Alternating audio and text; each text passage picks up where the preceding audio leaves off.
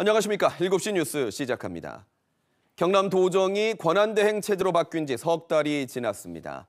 그동안 경남연구원과 관광재단 등 주요 산하기관장 두 자리가 공석이 됐고 당장 다음 달부터 내년 5월까지 잇따라 다섯 개 산하기관 대표들의 임기가 끝이 납니다. 내년 7월 1일에 취임할 새 도지사가 새로운 인물을 뽑기까지 일부 기관은 길게는 10달 동안 대표의 자리가 비게 되는 것인데요. 각종 우려가 나오고 있습니다. 손원혁 기자가 취재했습니다. 경남 도정 핵심 사업인 부울경 메가시티 정책 연구를 주도하고 있는 경남연구원 홍재우 원장의 3년 임기는 지난달 말로 끝났습니다. 내년 사업 계획을 꾸려야 할 중요한 시기인데도 수장이 없습니다. 공석은 내년 6월 지방선거 이후까지 8달 이상을 가야 합니다.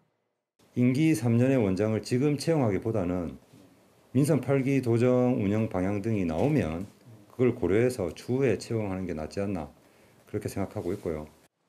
지난해 6월 경남 관광산업정책의 컨트롤 타워로 출범한 경남관광재단은 초대 대표가 중도 사임한 뒤 적임자를 찾지 못해 공석입니다.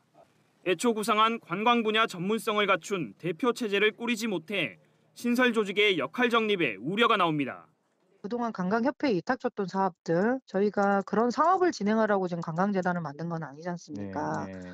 이 재단의 역할을 제대로 자리 잡기까지는 좀 시간이 걸릴 것 같기는 한데 도 산하기관은 아니지만 경상남도의 추천으로 임용된 부산진해 경제자유구역 청장도 자리를 비웠습니다.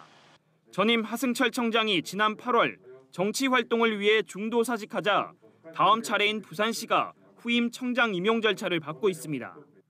경남개발공사 이남도 사장의 임기는 다음 달 11일까지입니다. 이어 마산누려원장 내년 1월, 경남 한방항로화연구원장 2월, 경상남도 사회서비스원장이 4월에 임기가 끝이 납니다. 기관 대표의 공석은 신규 사업의 책임과 결정에서 한계를 보일 것으로 예상됩니다.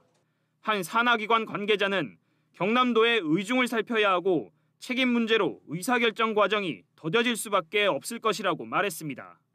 재임용을 통해 대표의 임기를 연장하기도 하지만 도지사 권한대행 체제에서는 인사권 행사 논란 우려에 제한됩니다.